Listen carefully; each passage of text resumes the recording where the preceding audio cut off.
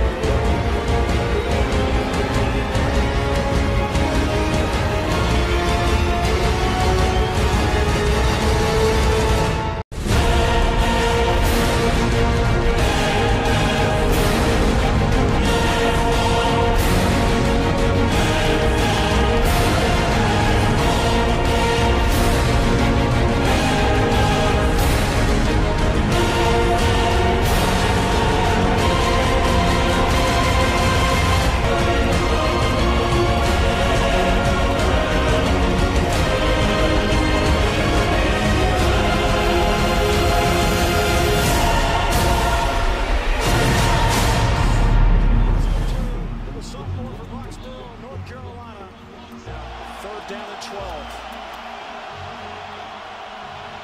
Wilson looking down the middle. Picked off! The freshman, David Magazu!